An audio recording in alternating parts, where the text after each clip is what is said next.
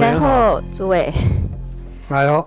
呃，我首先先要问您的就是，屏东县政府虽然我在医院生病休养，但是我看到了这个问题。屏东县政府他演绎要把部落教保中心的教保员，还有文件站的照服员的签订第三方契约书，并且在教保员、照服员的人事任用上的临聘考核。都必须交由原民处办理。虽然刚刚吴丽华委员谈到了非常多的细节的问题以及修正办法的问题，事实上这个部分本席也在半年前就要求原民会要注意这些问题，但是屏东县政府还是做了错误的示范。呃，主委你答复之前哈，我必须要提醒您，就是部落教保中心还有文件站的人事任用。它是依照教育部还有园民会的法规，还有实施计划，所以它并不是没有法规，也没有计划，它是有的，而且想得非常的清楚，是由人民团体自行遴选跟考核，并且要依照劳基法相关规定办理。纵使他有任何不明确的地方，地方政府也必须要跟原民会还有相关单位讨论呢。怎么会自己要有一个所谓的第三方契约书？我明确的说，平江镇县政府的第三方契约书是违法的啊，因为他干预了人民团体自行订定人事规章还有考核规定的权利呀。所以，因为这样，我要问您四个问题。第一个，请问一下，对于屏东县政府介入人民团体的人事任用，你怎么看？第二个，原民会，你要怎么样保障部落的自主自治的权利？第三个，未来要怎么样杜绝地方政府干预原住民人民团体的人事任用的权利？第四个，就是半年前我就把教文处还有你的社服处请来我办公室，我要求你们在所谓的规章办法里面要讲得更清楚。我甚至还希望你们能够跟学校一起合作，因为未来不管是教保员，不管是我们的文件站的造福员，能够提升，就按照我们教文处的辅导五个单位学校。来辅导我们所谓的实验小学一样的办法，而不是每年给五个厂商每年招标。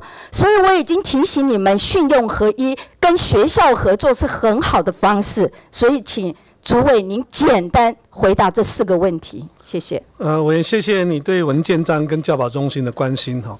关于呃屏东县政府的三方企业书，呃，其实啊经过协调，还有他们自己的评估之后。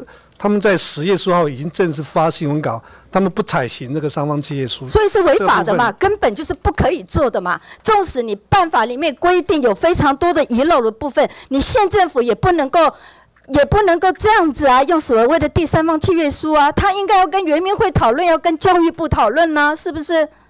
诸位是吗？所以他们十月十号就已经正式发行文稿，他们不采行这个三方契约所以是违法，对不对？好，接着下来第二个。请问未来你要怎么样来杜绝这种模式？然后未来这个所谓的办法要怎么修订？所以我们针对新年度的实施计划哈，我们要更完备文件站的执行单位跟地方政府的。行政协助还有人民会的督导的责任，怎么样做明确的分工跟前者分工这个部分，很好，会做检讨。所以诸位今天的时间不够哈，我再提醒您，我半年前就要求你的教文处，教要求你的社服处，针对这个部分。一定要赶快来做，很显然目前为止还没有，所以我们新年度的部分，我们按照我有很多建议来做好，谢谢。麻烦会后到我办公室这个细节部分再跟您讨论，好不好？第二个，我们看一下哈，您今年的预算大家都很高兴，增加了非常多。那么今年的预算呢，我们看了圆明会的预算。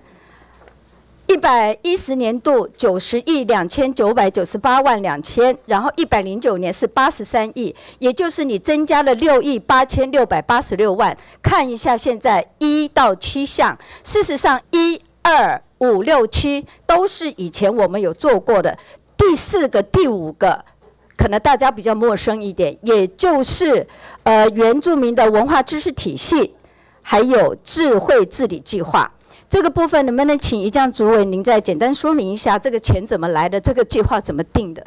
呃，委员要做些什么事？呃，我知道这个呃原住民自治体系的建构跟我们的智慧治理的部分，也是委员长期关心的案子。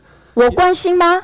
还是我要求的？我在教务教育文化委员会跟原民会，我们大力的来要求未来的各部会要支持，是不是？没有没有没有错。好，谢谢。我们明年就编了这个预算。对嘛？所以我就要问你，这两个预算要怎么做？因为分别是五年。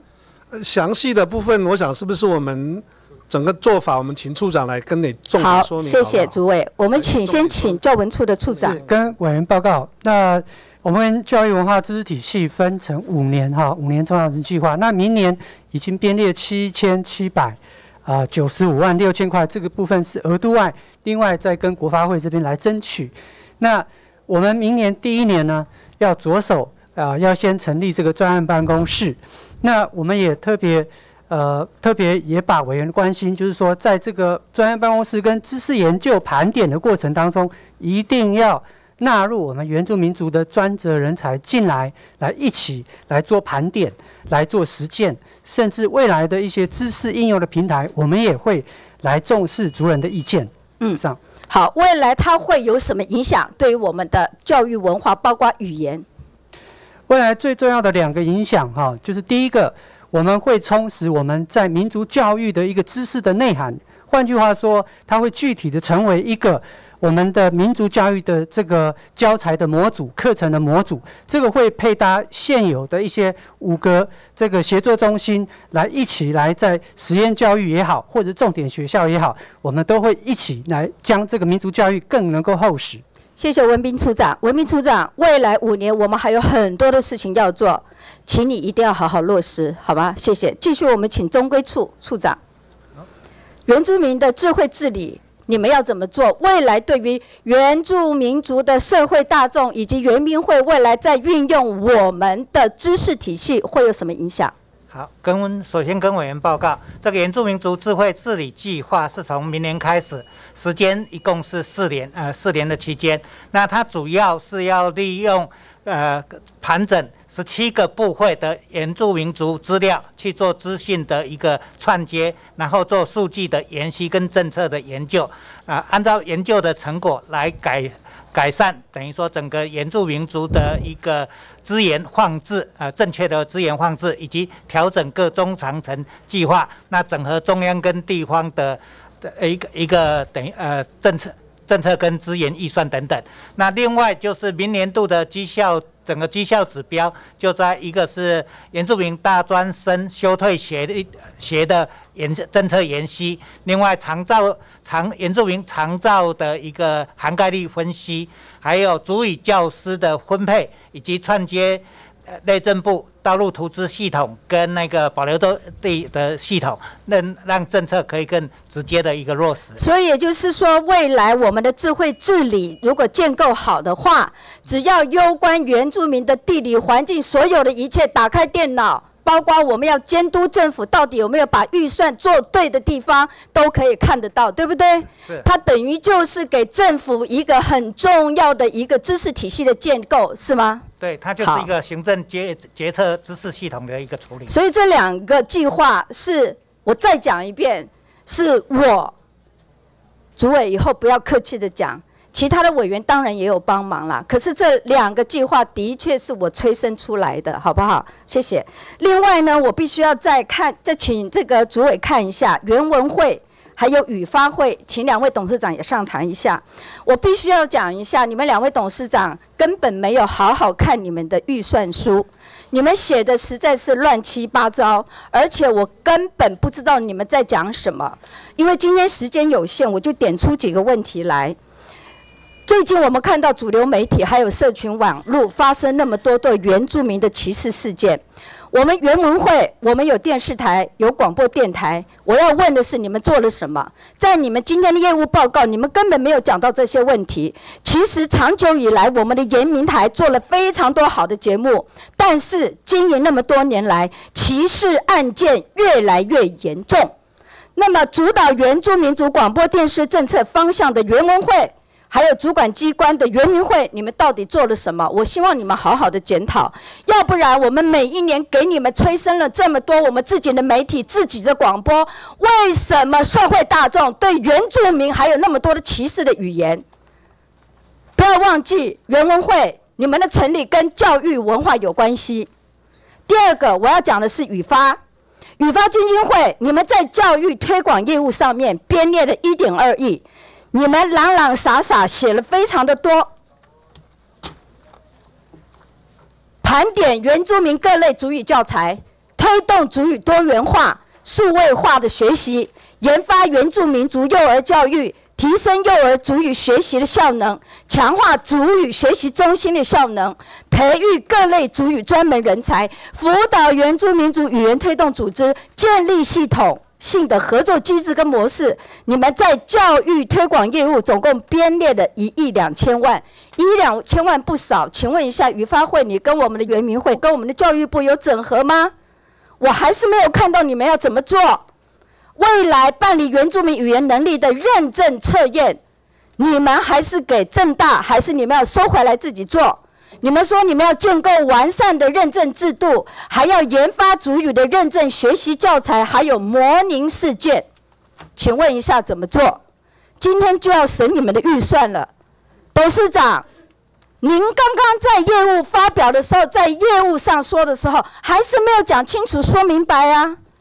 我们给你了那么多钱，你的行政管理业务编了三千五百六十六万人，三千五百六十六万元，不就是让你做这第三、第四个业务吗？那要怎么做？你今天没有讲清楚哎，今天就要审你预算哎，所以如果你还是讲不清楚的话，我不晓得待会要怎么审你预算。如果今天再讲不清楚，我希望主委带着这两个。委员会的董事长到我办公室来，你们自己原民会的业务跟你们这两个会跟其他的单位都没有整合，请问你们要做什么事情啊？好不好？谢谢主委，也也希望你们两位董事长加油啊！我们在前线帮你们打仗的立委，政策也定了，钱也给你们了，但是都没有看到你们追紧脚步，然后该怎么做？发挥你们自己的专业，我们完全听不到。歧视语言、歧视事件这么多，我们的电视台在干嘛？我们的广播在干嘛？我们虽然只有百分之二的人，我们能够不能够靠我们的电视台跟我们的广播教育台湾的社会大众吗？去影响百分之九十八的这些不是原住民的人吗？请你们以后要专案报告，告诉我们。什么时候才能够让这些歧视性的语言消失在这块土地上？诸位加油啊！两位董事长加油啊！谢谢。好，谢谢委员，也请委员保重身体，我们会努力做。